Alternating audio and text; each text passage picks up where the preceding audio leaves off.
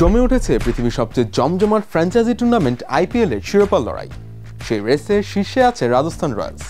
পিছিয়ে নেই মুস্তাফিজুর রহমানের চেন্নাই সুপার কিংস এবং কলকাতা নাইট রাইডার্সও। এবার আইপিএল জেতার মন্ত্র শিখিয়ে দিলেন অস্ট্রেলিয়ার কিংবদন্তি রিকি পন্টিং। বিস্তারিত আলোচনায়। এবারের আইপিএলকে বলা হয় রান বন্যার আসর।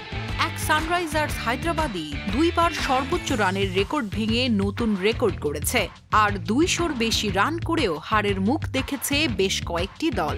তাই এবারের আইপিএল ব্যাটারদের টুর্নামেন্ট হিসেবে দেখছেন অনেকেই। ফলে শিরোপা জিততে আক্রমণাত্মক ব্যাটিংয়ের বিকল্প দেখছেন না তারা। গত মঙ্গলবার রাজস্থান রয়্যালসের বিপক্ষে দুইশো তেইশ রান করেও হারতে হয়েছে কলকাতা নাইট রাইডার্সকে। সেদিন সর্বোচ্চ রানের রেকর্ড গড়া হায়দ্রাবাদকে প্রায় জবাব দিয়ে ফেলেছিল বেঙ্গালুরু কোনো লক্ষ্যই যেন এবারের টুর্নামেন্টে নিরাপদ না। তাই দিল্লি ক্যাপিটালসের কোচ রিকি পন্টিং মনে করেন, এবার আইপিএল জিততে হলে লাগবে আক্রমণাত্মক ব্যাটিং। ক্রিকেটে সাধারণত বড় টুর্নামেন্টে ব্যবধান গড়ে দেয় বোলিং। রক্ষণাত্মক বোলিং করতে পারা দলই সাধারণত শেষ পর্যন্ত শিরোপা জেতে। কিন্তু এবার আক্রমণাত্মক ব্যাটিং করতে পারা দলের হাতেই শিরোপা দেখছেন পন্টিং। রান বন্যা দেখেই এমনটা মনে হচ্ছে সাবেগেই ওজি অধিনায়কের। আইপিএল এর ইতিহাসের সর্বোচ্চ তিনটি দলীয় স্কোর এসেছে এই বছরই। সর্বোচ্চ পাঁচটির মধ্যে চারটি।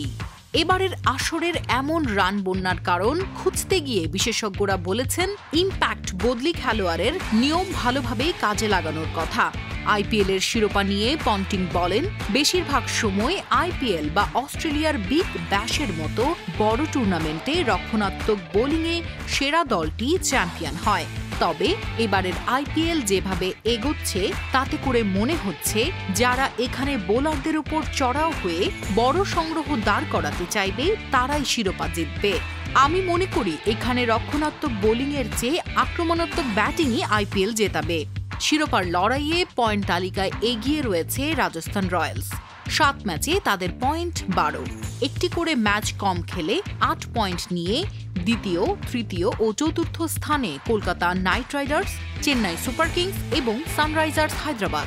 পঞ্চম, ষষ্ঠ এবং সপ্তম স্থানে রয়েছে দিল্লি, গুজরাট লখনৌ সুপার জায়ান্টস। যাদের পয়েন্ট ছয় করে, চার পয়েন্ট নিয়ে পিছিয়ে আছে মুম্বাই ও পাঞ্জাব।